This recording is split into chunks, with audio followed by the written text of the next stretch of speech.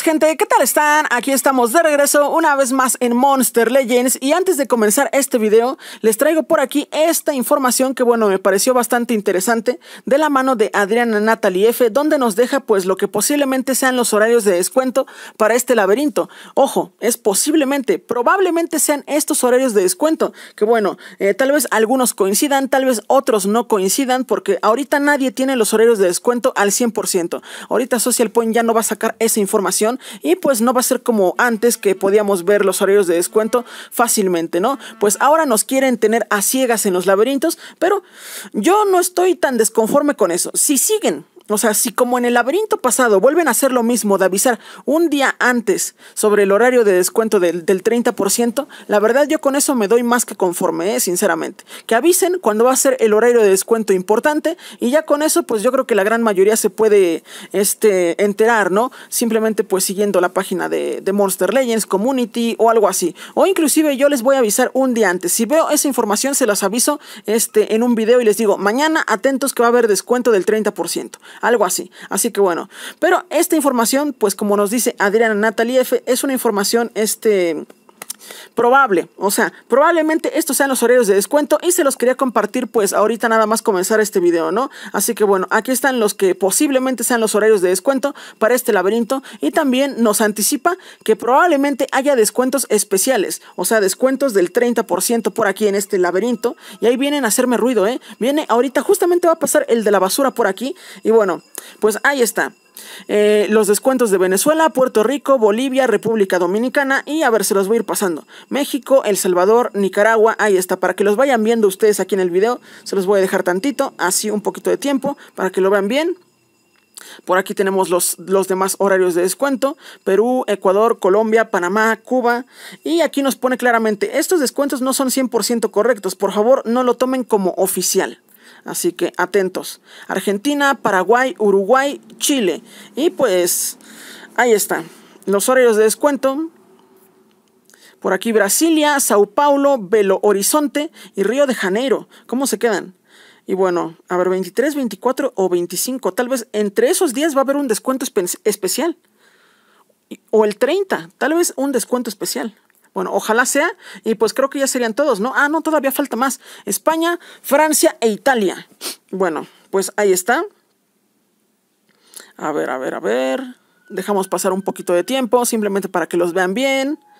¿Qué más tenemos por aquí? Creo que ya. Ahora sí, esos serían todos los horarios de descuento. Ustedes pueden ponerle pausa por aquí al video, tomarle captura, no sé, para que vean, eh, para que ustedes vayan checando, ¿no? A lo mejor coinciden, a lo mejor no.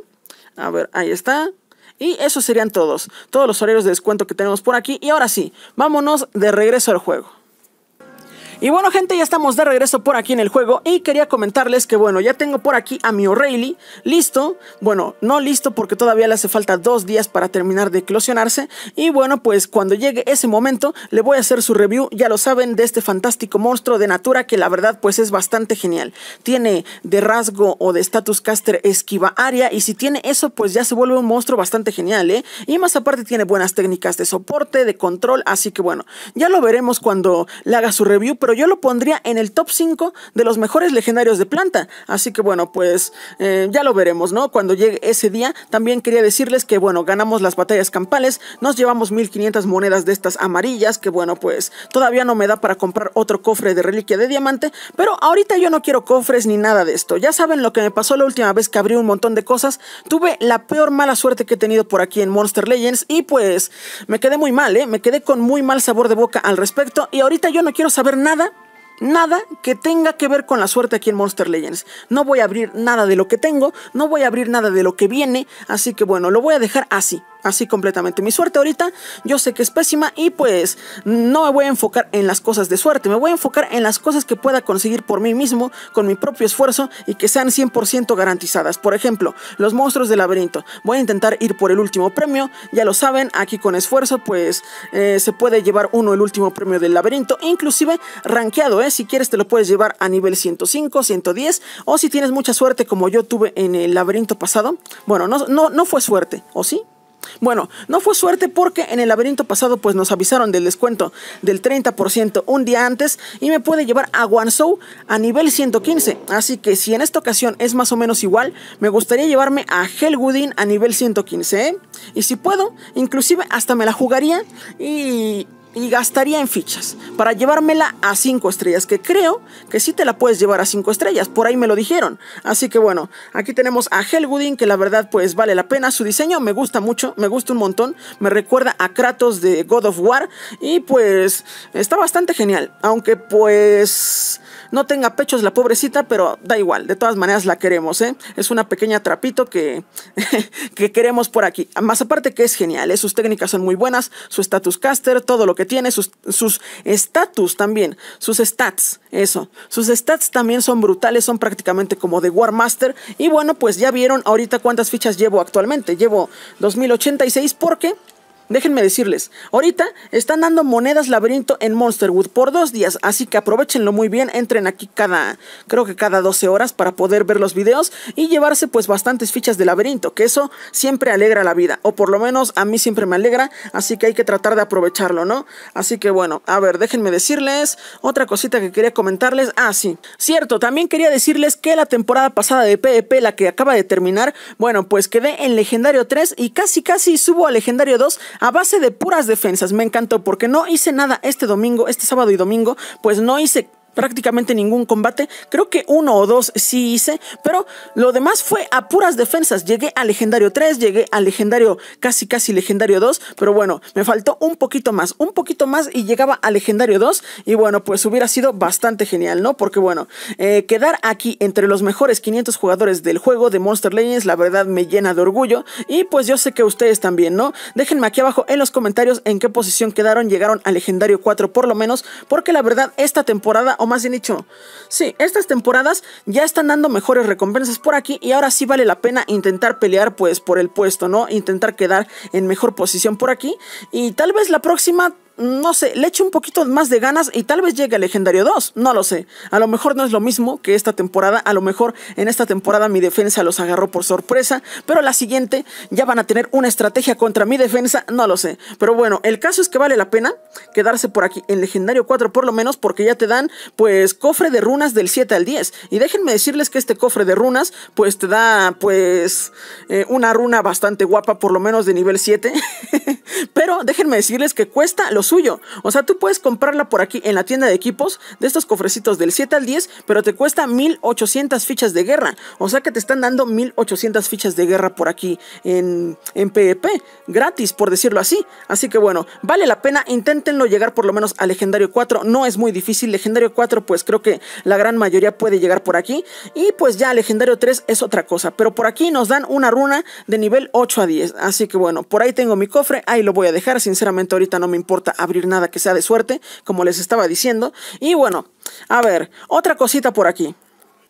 Al fin ya tenemos por aquí la mazmorra heroica de runas. Que bueno, esto es algo que también teníamos muchas ganas de que saliera para ver cómo iba a ser. Porque bueno, pues yo cuando me enteré sobre esto, sobre la noticia filtrada de esta mazmorra y que bueno, pues nos pintaban que íbamos a poder obtener runas X cada mes, parecía que iba a ser algo bueno. Pero bueno, al final ¿Saben cómo salió? Salió de esta manera, viene siendo como una mazmorra de los War Masters y pues de hecho necesitamos gastar orbes heroicos para llevarnos aquí nuestras runas X. Esto lo van a hacer las personas que bueno ya no tengan interés en llevarse War Masters o que tengan ya a todos los War Masters al 130 pues van a poder gastar por aquí sus orbes en estas mazmorras de, de runas heroicas porque bueno...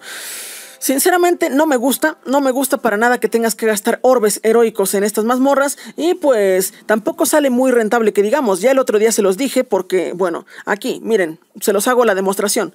Cada nodo de esta mazmorra te cuesta 200, 200 orbes heroicos, ¿no? O sea que si hacemos el cálculo, nos sale en 1000 orbes heroicos llevarnos esta runa X. Así que bueno, me dirán, pero Makoto, te estás llevando otros cofrecitos por ahí de por medio. Pero estos cofrecitos tengan en cuenta que les va a tocar la peor runa. Es casi, casi un 99% de que les toque la peor runa y tal vez un 1%, 2% de que les toque una runa de nivel 10, lo cual es bastante difícil. Pero bueno, si ustedes tienen mucha suerte, arriesguense si ustedes ya no quieren llevar llevarse War Master por aquí. Arriesguense y ojalá esto lo cambien porque sinceramente yo creo que a nadie le gustó esto. Yo creo que nadie se pone a gastar por aquí orbes. Nadie de las personas pues medianamente aquí en el juego. O sea, de, de personas pues free to play, de personas que están consiguiendo sus War Masters poco a poco y que bueno, los orbes heroicos los prefieren gastar en eso, ¿no? En vez de esto. Y pues no sale rentable porque mil orbes heroicos te sale más o menos como en 450, casi casi 500 gemas.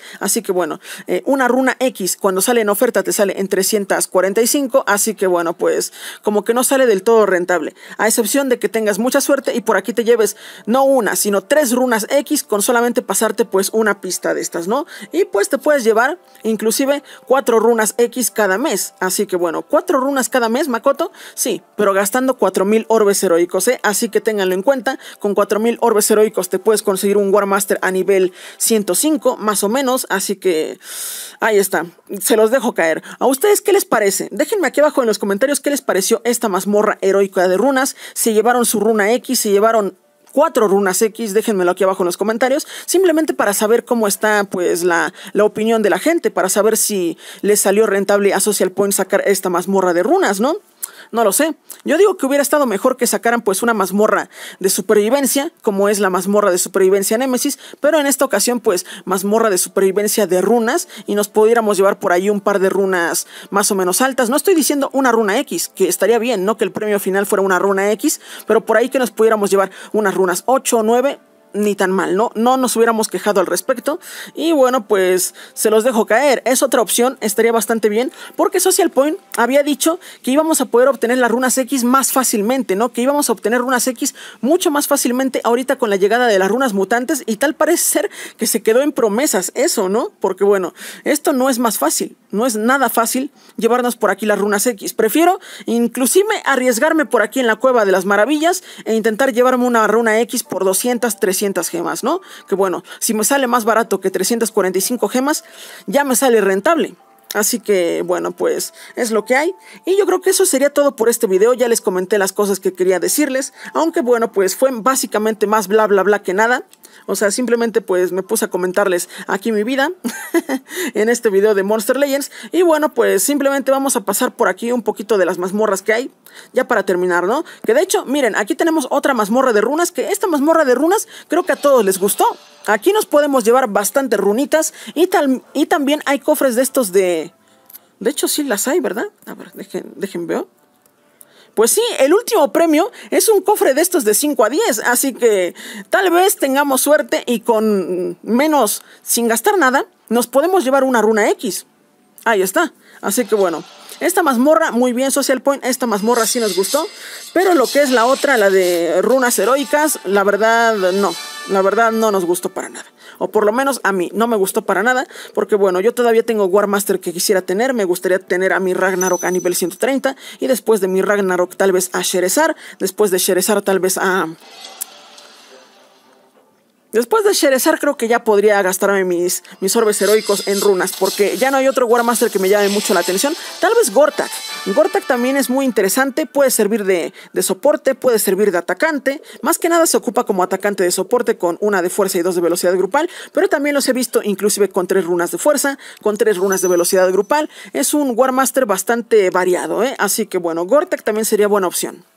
Así que bueno, pues por aquí me voy pasando esto, fácil y rápido, con mi equipo de, de War Masters. de War Masters. No sé ni qué cosas digo a veces, ¿eh? Con mi equipo de Flamerion, el poderoso Faraday y también la Reina Roja. A ver, ahí está. Nos llevamos dos células de Bodianoy. Y bueno, pues bastante rápido estas mazmorras. Si yo tuviera suficiente energía y me enviaran bastante energía, eh, yo rápido me pasaba estas mazmorras, ¿eh? Como pueden ver. Ahí está. No hay mucha complejidad por aquí. Y otra cosa que debería de sacar Monster Legends, que hace mucho que no saca, es otro mapa de aventuras. Esto es algo que también siempre me dicen en los comentarios. Me dicen, Makoto, ¿no sabes cuándo van a sacar otro mapa de aventuras? Pues no, no se sabe. No hay información al respecto. Y pues tal vez eso ya lo dejaron de lado a los de Monster Legends. Dicen, ¿para qué sacar más mapas de aventuras? Yo creo sinceramente, esta es una idea que yo les he dado desde hace mucho tiempo a los desarrolladores de Monster Legends, lo he dicho en varios videos, es que el mapa de aventuras muy desaprovechado, o sea, se queda completamente inútil el mapa de aventuras una vez lo completas, ya no, ya no haces nada por ahí, a excepción de que, bueno, pues, este, tienes una misión diaria donde tienes que hacer dos peleas en el mapa de aventuras para llevarte pues una recompensa, ¿no? Y bueno, es lo único que haces al día, hacer dos combates por ahí, pero a lo tonto, porque está desaprovechado completamente. Deberían de hacer algo con el mapa de aventuras, hacerlo más rentable, que puedas pasártelo una vez, otra vez, otra vez y otra vez y recibir recompensas tal vez no tan buenas como la primera vez que te lo pasas, pero recibir recompensas más o menos para que valga la pena y que la gente que tenga tiempo libre o que quiera jugar Monster Legends, pues que no sea lo típico, se meta por ahí en el mapa de aventuras y disfrute del juego, ¿no? Porque bueno, Déjenme decirles que Monster Legends es muy divertido, es de los juegos que más me gustan a mí, sinceramente, pero también como que no se aprovecha tanto. O sea, entras aquí a Monster Legends y en 10 minutos haces las acciones del juego que tenías que hacer te sales del juego y ya, sigues con tu vida. Por eso me alegra Monster Legends, lo puedo grabar pues con mucha facilidad, pero también me gustaría que hubiera algo más que hacer aquí en el juego, ¿no? Y yo creo que la respuesta está ahí, en el mapa de aventuras. Se debería de poder hacer algo más por ahí en el mapa de, en el mapa de aventuras, podríamos farmear algo, no sé, algunas cosas y que después pues puedas canjear esas cosas Uf, se me está yendo el aire, ¿eh? no sé por qué, ¿eh? pero bueno, deberíamos de poder farmear algo en el mapa de aventuras y después canjear ese algo por otras cosas aquí dentro del juego. Eso sería bastante genial. Ahí está, esa es mi idea, mi idea para el mapa de aventuras y bueno, pues ahora sí, creo que eso sería todo por este video. Espero que les haya gustado. Mucho ojo con los descuentos. Este no es información 100% real, se los vuelvo a recordar. Y bueno, pues ahora sí, les deseo mucha suerte en el laberinto. Les deseo mucha suerte en su mazmorra heroica de runas, si piensan pasársela. Y bueno, sin nada más que decir, nos vemos en el siguiente. Chao.